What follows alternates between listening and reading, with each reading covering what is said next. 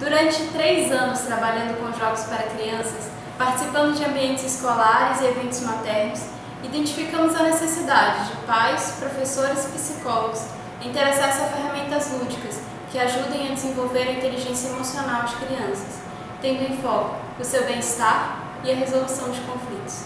Então pegamos tudo o que aprendemos nesses últimos anos e nos juntamos como especialista em habilidades socioemocionais para a primeira infância, com o objetivo de criar um novo jogo, mais engajador, que ajude a ensinar emoções, a praticar o controle emocional e a despertar empatia em crianças de 3 a 7 anos. É uma experiência digital bem imersiva.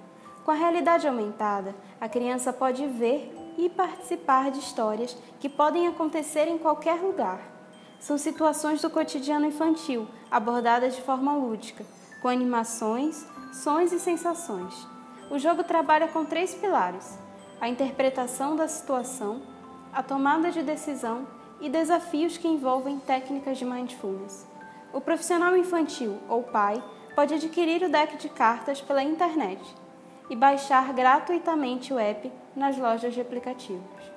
Contamos com uma equipe de cinco profissionais, entre designers, desenvolvedores e psicólogos, com a experiência e expertises necessárias para o desenvolvimento deste produto.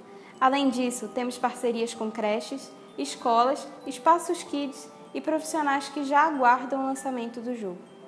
Com esses 100 mil de investimento, esperamos acelerar o processo de desenvolvimento da primeira versão comercial do jogo para daqui a seis meses momento onde iniciaremos o processo de venda para os early.